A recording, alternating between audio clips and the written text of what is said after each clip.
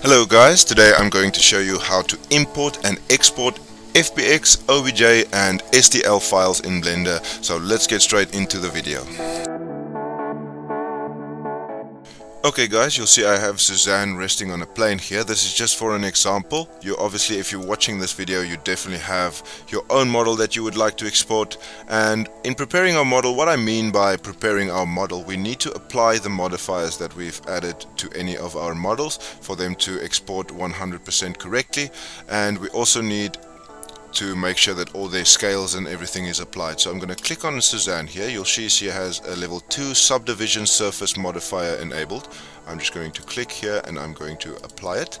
And then I'm going to press Control A and all transforms. And then set origin, origin to geometry. And I'm going to do the same for the plane. Just apply all the modifiers and then Control A, all transforms, set origin, origin geometry. Now our models are ready to be exported. Okay, to export these two objects is going to be relatively the same process for each file type. So we're going to select both and we're going to deselect the light there. We're going to go into File, Export, and then we're going to click on the first, first option which is FBX. Now if you have any textures enabled on your on your object you'll see I already have copy enabled here at the path mode and I've clicked this little embed textures thing here that will just embed all your textures into this FBX model but just keep in mind Blender is not really good at exporting textures in any file type and it would be most advisable to have image textures for your models if you're going to use it in any other software such as Unity, ZBrush or any other software that you might use it in. So we're going to pick also limit to selected objects so that only Suzanne and the plane gets exported. And then obviously you're going to choose a file location for where you want this to be exported to. And then once all of this is enabled. You can also say apply transform. Obviously we did that before doing this but this will just make sure that all of that is enabled and then export FBX and now your FBX file should be exported. And I'll show you the same exact process for the OBJ as well as the FBX let's just select these two objects again. Go export and we're going to select Wavefront OBJ. You can also use the new Wavefront OBJ experimental version, but for now we're just going to stick to the legacy method here, and we're going to limit to selection only. You'll see here is the path mode, and we'll use copy, and then you can just say export. So there's a little bit of a difference here, a bit less options than the FBX model, but still pretty straightforward. Export OBJ and your file should now be in the file you specified it to be in. And then for the STL, exactly the same thing.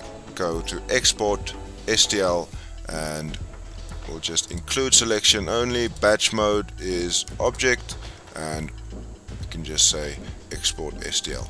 And that is obviously for 3D printing and there is a little bit more things that you need to consider with an STL because it is being printed with real-world parameters so you would need to make sure that your model is optimized for that but that is how you would export the STL as well. So now let's get into how you would import your models back into Blender. Okay guys, importing is actually easier than exporting even though exporting is already quite easy.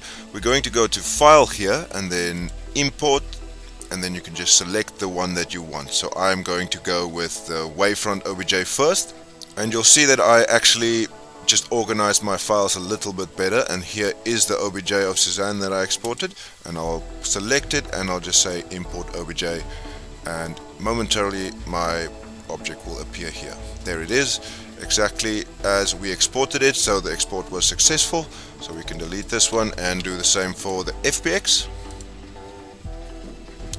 and there is our FBX model so I'm gonna select it and import. Now let's see what happens.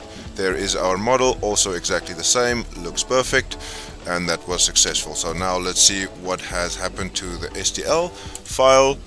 Import STL and there is our STL Suzanne. It is important to note that with STL each of the objects actually gets exported individually. So you will have to import Suzanne plane or Suzanne, Suzanne, whatever you have named your object here, because that one export will export a few individual objects depending on how many objects you actually have selected in your scene. But uh, as you can see it still comes out rather good. Because of an STL being used for 3D printing it can't necessarily work with two objects that are not conjoined. So it's very important if you want them to be joined that you actually join your objects before exporting them. And I hope you guys enjoyed this video. It's a very simple concept but it's one we learn usually too late in our 3D journeys so I hope this is something that is useful to you. I hope you guys enjoyed this video. If you did leave a like leave a comment and subscribe so that you don't miss any informational upcoming videos